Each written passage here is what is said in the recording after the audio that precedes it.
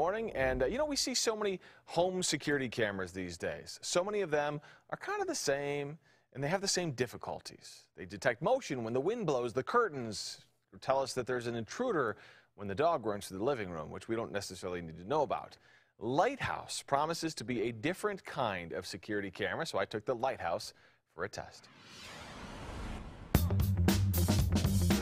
The first thing you'll notice about the lighthouse is the shape. It's pretty unique, and you can see why they call it the lighthouse. It can spin on the base, so you can point it in different directions in the room.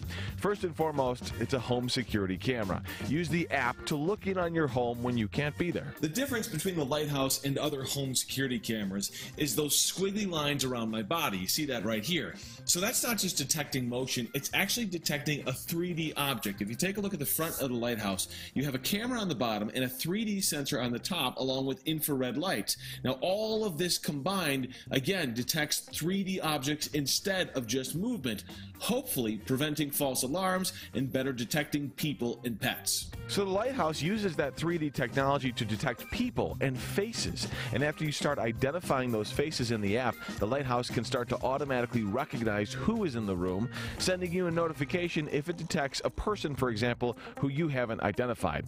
It can also identify identify pets. It knows when motion isn't an actual person, maybe a curtain in the breeze, and doesn't notify you of that.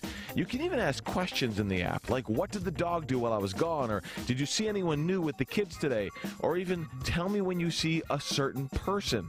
It's a home security camera with 3D vision and a brain, promising not only smarter detection, but a more human like interaction in the app. And you guys know I've actually tested a lot of these home security cameras because so many people are interested in them right now. This is easily the smartest home security camera I've ever tested. I love the artificial intelligence side of it. The 3D camera does make a big difference in determining objects versus people and pets. But it does come with a much larger size. You see how big this thing is. I brought in two other cameras. This is the Wyze and the, the Logi, Logi Circle, much smaller. Uh, Nest camera, smaller as well. So you get that technology, but you pay for it when it comes to size.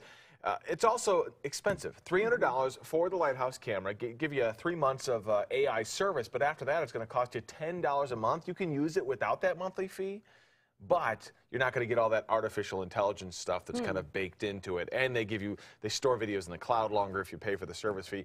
I wish it was five bucks a month. Ten, ten bucks a month is a lot of money. Yeah, no kidding. So I've got my full review. If you're interested, if, if you're willing to pay for it, it is the smartest camera out there. Go to kdvr.com, click on the On TV tab at the top of our page to read my full review. More pictures, links to where you buy, can buy it, et cetera, et cetera. All right, good stuff.